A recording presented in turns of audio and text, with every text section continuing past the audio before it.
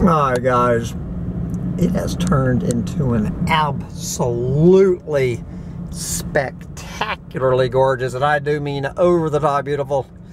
It is a Sunday afternoon here in paradise. We are, it is Sunday, June 25th, 2023, somewhere around there.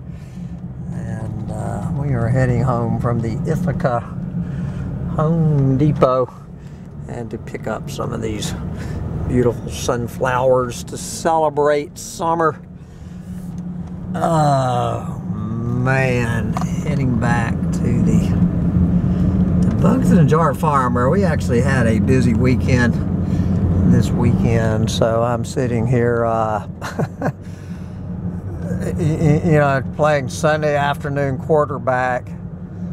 Still just, just trying to figure out what the fuck is going on uh, with these, uh, well, I don't know, not exactly doomer chicks, but just the old, the old whine about, I'm, I'm really starting to lose my patience with uh, not finding some woman uh, who might actually look at what Hambone Littletail has to offer and throw caution to the wind and uh, give it a try. So, so last night was interesting because I had three uh, options not to choose from, but human nature uh, to observe. So, in one cabin in Blue Dragon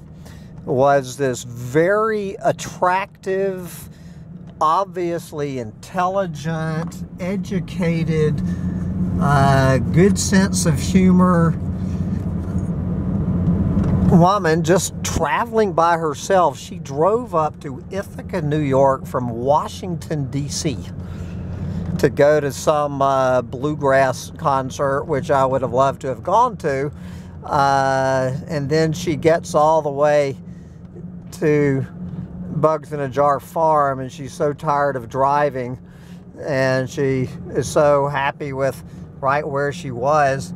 She just blew off the uh, blew off the damn uh, bluegrass festival. So, you know, I'm hanging out with her as long as she would let me. As so, I, you know, stretching out my time with her. She was probably late 30s, is what I'm figuring. So I went and got her fire going and everything, and finally couldn't think of any more excuse to be hanging around with this uh, beautiful 30 something uh, woman at my Airbnb and too chicken shit to uh, offer to drive to the bluegrass concert uh, because that is the quickest way to not only not be a super host but to not be a super host at all.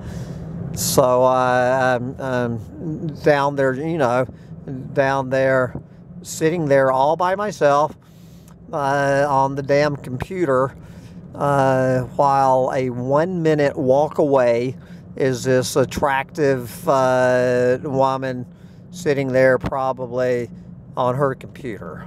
So that was my big Saturday night. So in the other tiny house, in another tiny house, we had this young 20 something couple, uh, you know, the dating they were 26 years old. They were here for the Ithaca Reggae Fest, is what they were here for.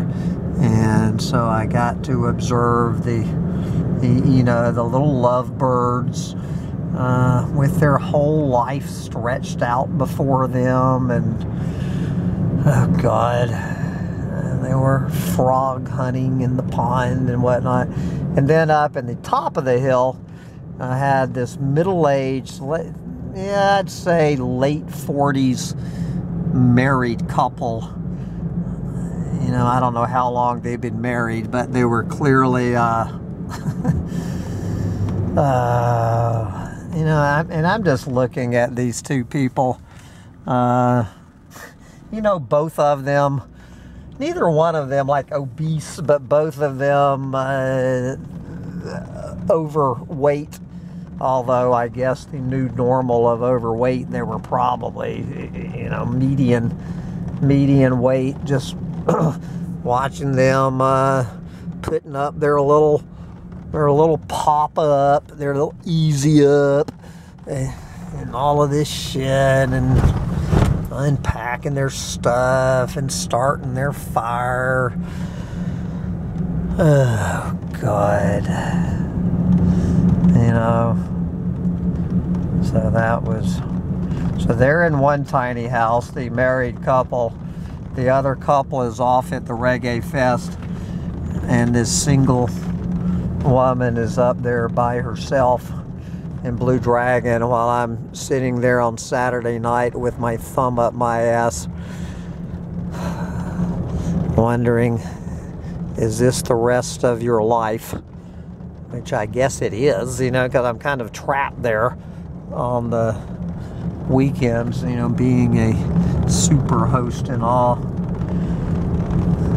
So I was reading, so when was it? A couple of days ago, I guess on the same day on medium.com I, uh, there's two articles i don't know why you know i get all the doom and gloom articles but i think it has to do with the two things that i wrote for medium.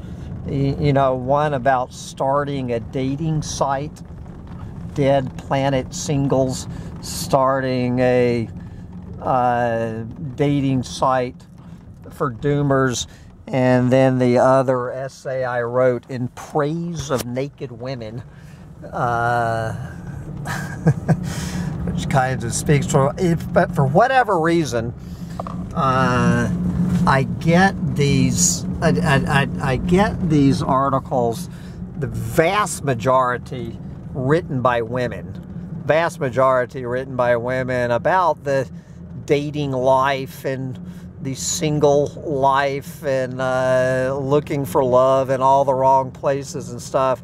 So, two stories come out. I can't remember the name of this one young woman, this little hottie, and uh, I've, I've read her dating uh, stuff before. And her article was yesterday. She was talking about some I don't know, study or survey or something that she had just read that one out of three young men are no longer having sex. And it was called, I think the name of her essay was Four Unsurprising Reasons That One Third of Young Men are no longer having sex. I can't remember was it 18 to 25 year olds or was it 18 to 35 years old? It was either men age 18 to 25 or 18 to 35 according to this research or survey are are not they're just not having sex. They're celibate. And it was a little unclear whether this was a voluntary or involuntary choice, although, of course, one of her unsurprising reasons was, you know, going off on her rant about incels. Uh, you know, one of the unsurprising reason, I guess, is that one out of three young men are, are incels. And uh, so she had her rant about that. Now, she nowhere mentioned anywhere in this story, which I was trying to find, if one third of young women are not having sex either. She made no mention anywhere.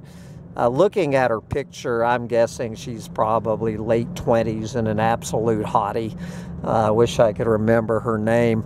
Uh, but she just completely ignored uh, that statistic. Whether so, but it was implied that 100% of young women age 18 to 25 or 18 to 35 are having sex, yet only 66% of young men are still having sex. And I'm thinking, huh, well, what does that mean for the two thirds of young men who are still having sex? Uh, does that mean that one third of the young men are getting twice the amount of pussy because these all of these uh, leftover young women looking for a hard dick? Uh, is, is that what it was saying, or are the two thirds of the young men still having sex? Are they having 150% as much sex? So, you know, none of this was, you know, th- these were, you know, this is stuff that inquiring minds want to know. And I'm thinking, well, Hambone, if uh, back in the day when you were age 18 to whether it was 25 or 35, I'm, I'm assuming that I would have been uh, in the two thirds of men still having, young men still having sex, and hopefully I would be getting twice the amount of pussy because of all those little limp dicks, incels, whatever, not uh, getting any pussy at all. You know, so I remember, you know, of course, you know, on my 21st birthday, I had th- I had sex with three women for my 21st birthday. So hopefully, I I don't know, uh, but I think and I know at least one of those three, and I'm pretty sure two of those three, uh, probably were having sex with three men on their 21st birthday. So anyway, uh, so I she, you know, she put those four unsurprising reasons, never mentioning anywhere in the article, never mentioning pornography, never mentioning sex dolls, and most glaringly, never mentioning the average BMI of young women uh, nowadays. Uh, I mean, I, I, I, mean, I'm looking at all of these goddamn young women. The, these just the, you know the waddling around these the, these blobs of adipose tissue. You know these young women i'm seeing it more and more and more and more. You go on netflix and you look at this thing it's called mer people you know mainly mermaids. And just looking at the picture, they have that they have this uh, the, these three young women on the you know the shot from the documentary about uh, these young women wanting to be mermaids. Well, do they want to be mermaids or do they want to be fucking whales? Are, are they chewing the rudders off of yachts in Gibraltar? Uh, uh, like, my God, you, you think a fucking mermaid uh, would, would have enough fucking self respect and self discipline to be vaguely shaped like a mermaid, and but they all seem to be shaped like tuna fish. And, and then, uh, I, I, mean, I just watched the I just, just watched the trailer because uh, I didn't want to, you know, spend an hour looking at pictures of these fat uh, young women trying to be mermaids. Uh, and then, but, but even in the little, you know, the little three minute trailer, you see a couple of the old retired mermaids. You know, the women, the mermaids my age back when a uh, when a mermaid, uh, you know, when the tail wasn't the best looking part of the mermaid, and they all seem to still look like fucking mermaids. You know, and I'm thinking, I'm looking at these, uh, you know, retired mermaids and thinking, all right, would I rather have sex with a with a 63 year old mermaid with a 21 BMI or a 21 year old mermaid with a 63 BMI. And it was no fucking contest.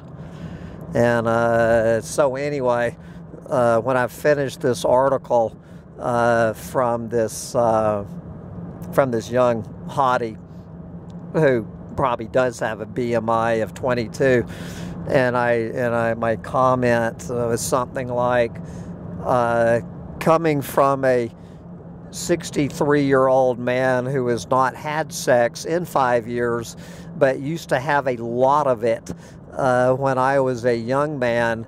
There are two more reasons you left out of your list, but if I mention them here, the comments section from your female readers would make the incel columns you talk about sound like a regular love fest.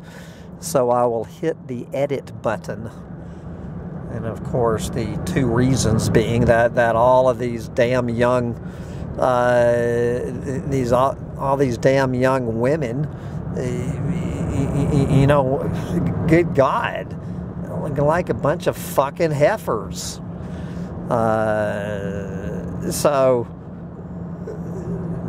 telling me that these young men are uh, not just uh, walking around in a constant state of uh, fucking arousal because the because these damn young women are so fucking fat. And then, of course, the other reason, you know, closely tied into that is, is the damn porno. Uh, as I was mentioning the, recently, the only place you can uh, find a video of a thin young woman anymore is on YouPorn. If you want to see a damn young woman with a fucking BMI of less than 30, eh, don't go uh, looking for mermaids.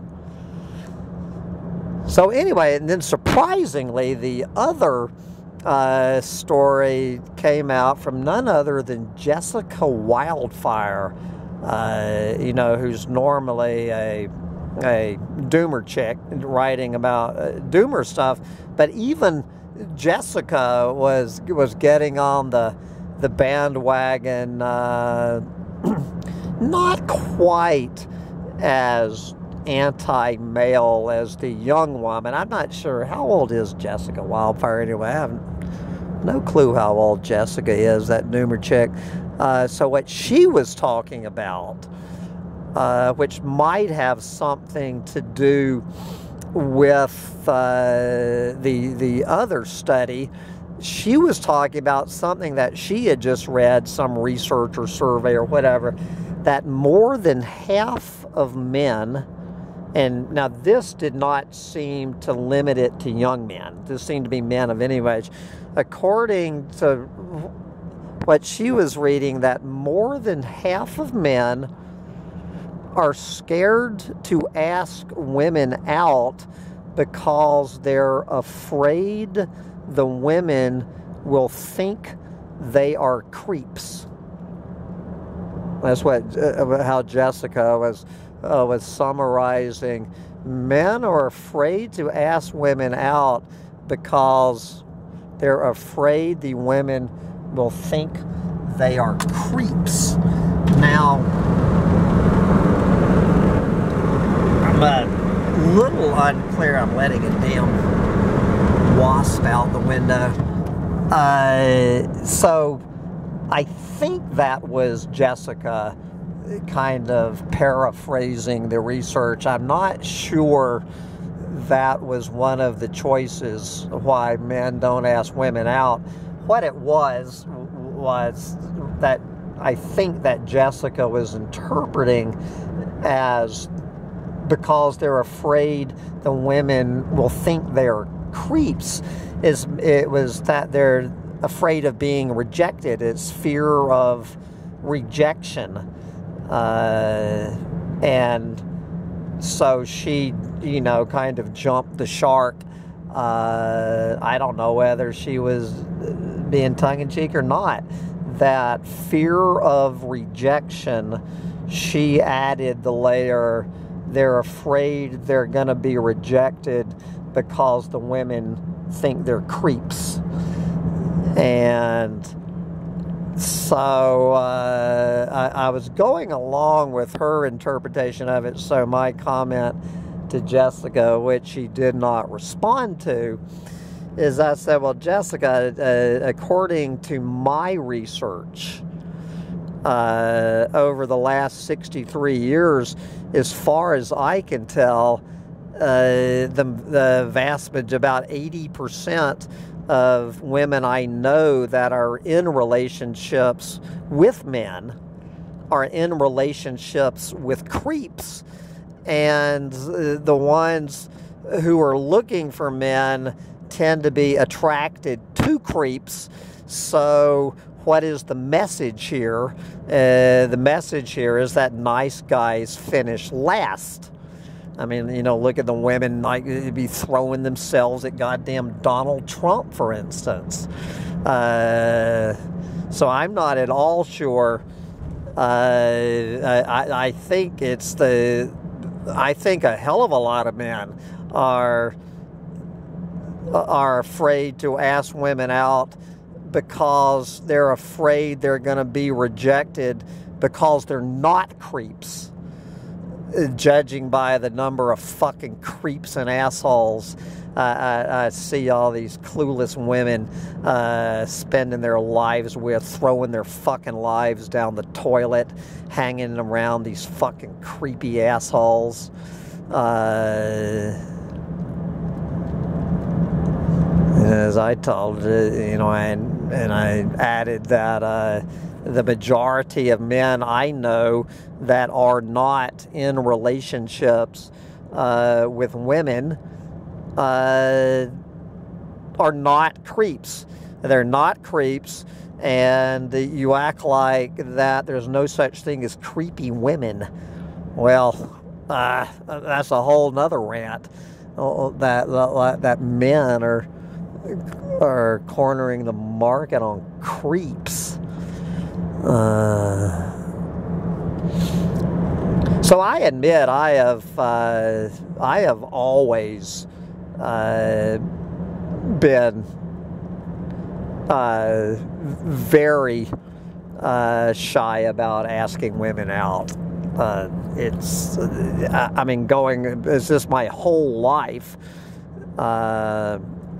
that you know after you ask a, a few women out, and they, it, especially is when you, uh, whatever happened to that uh, term make a pass, you know, especially when you lower your standards and you're, you're, you're you know, you're, you're lowering the bar uh, because there's nothing else uh, and you ask some woman out and, and, you're lowering your standards and she uh, rejects you.